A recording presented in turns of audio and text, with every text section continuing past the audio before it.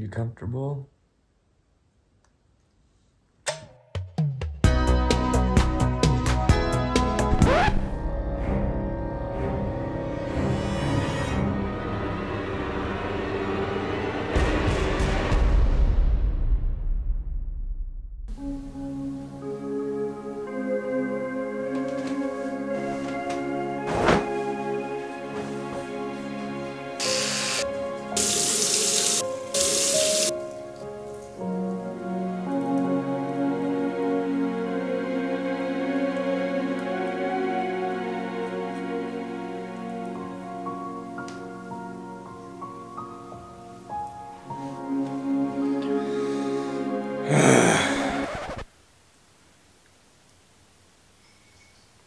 I feel like an Anne Geddes baby. Let me get my bow right.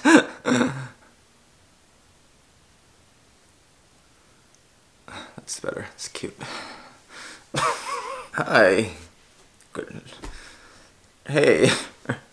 I have been asleep for the past three weeks. Oh. Sorry, I have teeth whitening strips in, so maybe I'll have to subtitle. I don't know. Just bear with me. Open your ears, bitch. Also, this face mask is quite constricting because it's drying and getting tight and removing all the in my pores. January has definitely been my month of rest and relaxation. I have been living a life of just complete nothingness. I've been hibernating, like genuinely hibernating. I've been asleep the past three weeks. I entered January being like, wow, I got a lot of great ideas and a lot of creative stuff. The creative juices were flowing. Actually, they were not. I feel like the end of 2023 last year, I gave myself time to like chill and I was making like a lot of vlogs that were very easy to film and edit and stuff. And I don't think I did any videos that really had a concept at all. But I was char- bitch, I was charging. I was I was I was charging up um, and preparing for the year of 2024, the year of our Lord, the year of so far darkness and rain and a whole lot of gloom and depression. Yeah, I've been depressed. I've been depressed, but I haven't been sad. The weather has just been so goddamn disgusting. It's been snowing, it's been raining. I haven't socialized with it. Like, I genuinely, I don't think I've seen another human being, I'm not kidding, three weeks. I think New Year's was the last time I was at all social.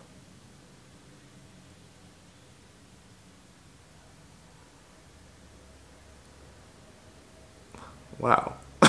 But next week, the weather is apparently, trust me, I do not trust meteorologists. I think that it's witchcraft and I don't fuck with it. I think it's dark magic. You do not, you cannot tell the future. You are playing God and you're trying to convince everyone that you just know the future, which 90% of the time, you don't. You get it wrong. Like, I watch the news, they say, oh, next week, Wednesday, it's gonna be sunny, 30 degrees, and then we continue to approach Wednesday next week and notice how the weather starts to change. I know like a couple days ago I said it was gonna be sunny and hot, but actually it's gonna it's gonna be actually really cold. It's gonna be, it's gonna be a bit colder. Then you get a little bit closer to, oh actually, you, you guys, I was, uh, but last week was a funny joke. Tomorrow's actually gonna be minus 30 and snowing. So this video's fuck you is going to meteorologists. Fuck you! But, I don't know. Supposedly, next week the weather is supposed to be much, much better, but I thought I would give myself the rest of this week to just really lay into R&R and and just just destroy my mental health even more. Because then next week I could build it up and it'll be it'll feel so much better. Right? I really haven't been doing anything. I I don't know what I've been doing this month. It's really just been like smoking a ton of weed and sleeping, which is like so pathetic. I've been justifying it by saying, what the fuck else am I supposed to do? It's been snowing and raining, I, cold as shit. What, what else am I supposed to do besides smoking weed and being unconscious? I can feel you judging me. this month I also haven't been reading much. So today I read quite a bit of The Year of Magical Thinking by Joan Didion, which is the book club for Priory of Shawn this month, which I would like to finish. I honestly would love to finish it today. The Discord opened oh god. The Discord for this opened yesterday, and the girl the girls are talking. The disciples, the warrior priests, the lectors, they're in there, they're chatting away, and I would like to join the conversation. So far, I'm really enjoying it. It's just about Joan Didion. Uh, you know, you know, Joan. She was a journalist and just iconic author and socialite. But this is just about grieving her husband, John, after he passes away quite abruptly. I'm really enjoying it. I was expecting it to make me sad, but it's not. I think that Joan is just so practical and objective. She just explains the events and then writes about how she feels, but she just has such a grasp and control on language. It's really remarkable to see somebody grieving because I feel like grief is so abstract. Somebody like Joan, whose mind is just so sharp, even in grief, she just is able to explain these really abstract and dark emotions so well. And as somebody who's never really experienced grief, especially not at this level, it's a really interesting journey that I feel like she's taking me on. But right now, I'm just gonna shower this off, take out these white strips, and I don't fucking know. I don't know. Lay down again, probably.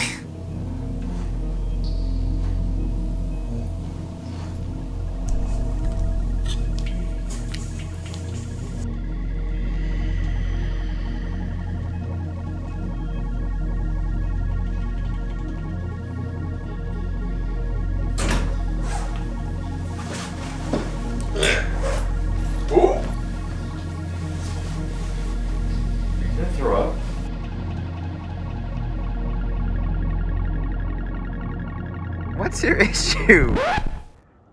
Come here. you look like that alien in the doorway meme. Come.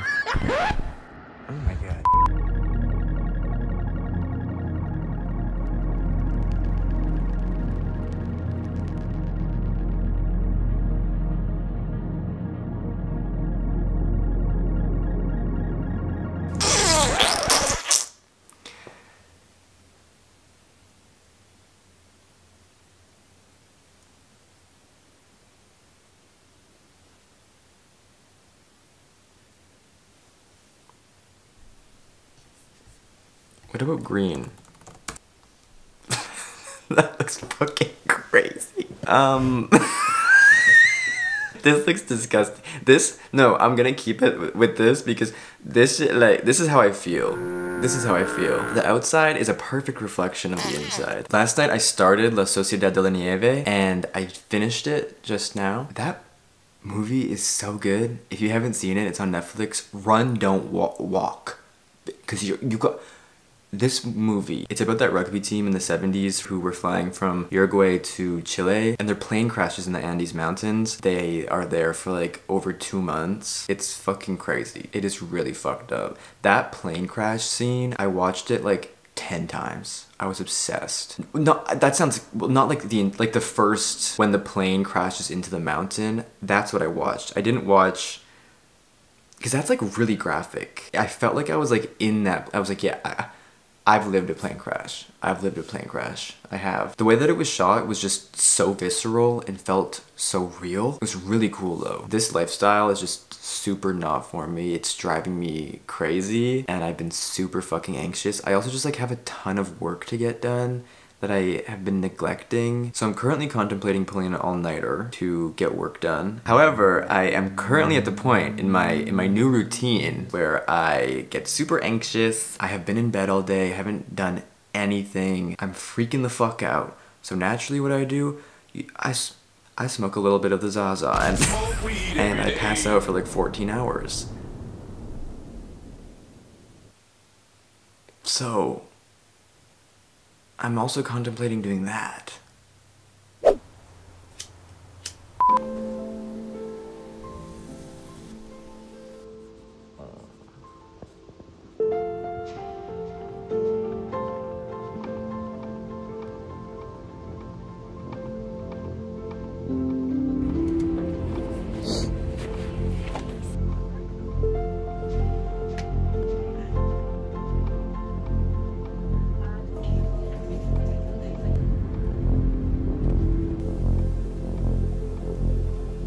So, travesty has struck.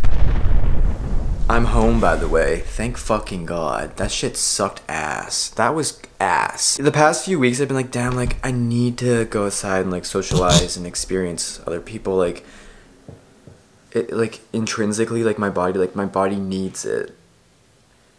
Bitch! No, I don't need to do that. I, like, I didn't even have a bad time. I was just like, this is just not for me. As I said, travesty has struck. My boba place got rid of the fun lids. What the fuck? What the fuck? Look, what's the point of even having a sharp straw? And they literally, they used to, these used to be fucking plastic and had color. Like you never knew which color you were gonna fucking get. And now look, it's paper. It's fucking stupid ass turtles. But you're supposed to, boba. But look, That's not fun. That's not, I don't even want this. I don't even fucking want this. I also stopped at the bookstore and I picked up The Sirens of Titan by Kurt Vonnegut. I've been like craving Kurt Vonnegut uh, for a while now. I haven't read one of his books for quite some time, so I'm excited for this. This is an outrageous romp through space time, and morality. Offered a chance to take a space journey to distant worlds with a beautiful woman at his side.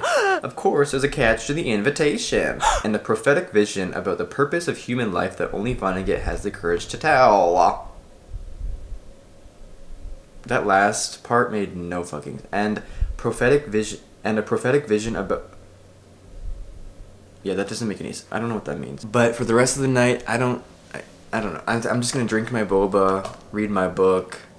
I might watch Oppenheimer. Oppenheimer. The uh, what is it? I don't know. I don't give a fuck. Let me get my bangs right. Okay, that's much better. That's much better. Literally, no drama. Did you know, life hack? If you do not leave your house and interact with other human beings, you will be a no drama llama. So if you're dealing with too much drama in your life, consider isolation. Because I haven't had to do confrontation in weeks. That says 249. That's gotta be right. I just got up. I, I just got up, made myself this coffee, and grabbed this banana. That's gotta be a record. That has got to, I don't think I've ever woken up that late on a weekday. Today's Thursday, I think. I've definitely like woken up at like 5 p.m. on like a Saturday or a Sunday because I was blackout drunk the night before. Um, but like who hasn't? Um, everyone's done that. But like on a Thursday for a Thursday, on a Thursday? Last night I started watching Oppenheimer. Most boring shit of my life. Like that shit was so fucking boring. I watched like an hour of it and I was like, First of all, I'm not following any of this. What was, there was like 800 different storylines going on. The stuff about their relations, like I don't give a fuck about, what is his name? Robert? it's literally called, I just forgot. Oppenheimer. I don't give a shit about his relationships. I just could not get myself to care about this weirdo dating. I don't, he's weird. Like you're weird. Why are you dating all these women? I feel like he's a freak like in the beginning I was like, okay, so this is like a this is like a weird introverted freak. But then he would say and do things with these women that I was like, oh like wait, he's chill as fuck? I don't get it. Oof, oof. That was me actually sitting back down, sitting, that was me for the first time coming into my car. Oh, that was, this was, so when I actually, that was me coming into my car for the first time with my, all my groceries, so, I thought I would do a quick haul of everything that I got. This is the most boring fucking video ever. There's just nothing going on. It's been like this all day.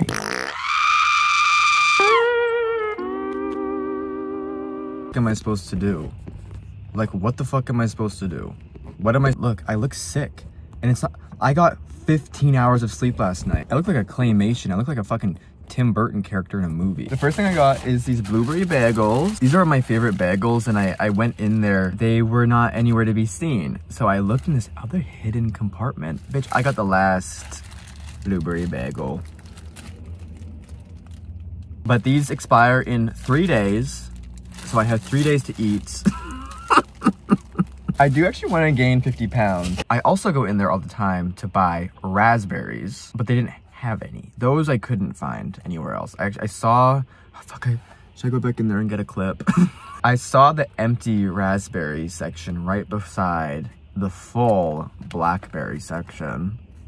Right beside it. And I said, fuck. I guess I'll just get fucking blackberries. Then right beside the blackberries, I saw blueberries and, and there was a lady that was picking up, she was taking all of them. I was like looking for the raspberries, grabbed the blackberries. This lady comes like behind me, stops her cart, and she's just filling her cart with all the fucking blueberries. I wasn't even get gonna get blueberries, but for some reason, just to spite her, I grabbed one. what is wrong with me? I think I might be evil. Because I'm not kidding, I think she's gonna take all of them. And I was like, I'm not letting this lady take all of the blueberries this store has. Why does she need every single... There was a lot. I bet she's making like some big blueberry cake or something and she's like, fuck. Like, we just don't have enough blueberries. We're just missing that much blueberries. and then I got some juice. I got Turbo and Hulk. Then I just grabbed a sandwich. They have really fantastic scones most of the time. Like with these really just beautiful, it's like st strawberry cream cheese type shit glazed in God's come. Like it's like, it's really great stuff. But they didn't have any. They had like Nanaimo bar, lemon bar, and red velvet cake. And I was like, I'm not, I'm not in the mood for any of that. And normally I don't like their sandwiches here actually. Yeah. But I saw this turkey brie. Oh God. Oof.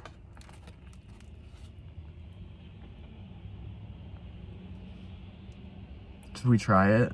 I don't think I like it. yeah, I don't... I'm not really a fan of that. And lastly, I got a coffee. Just a iced, um, lots. Uh, and that's good.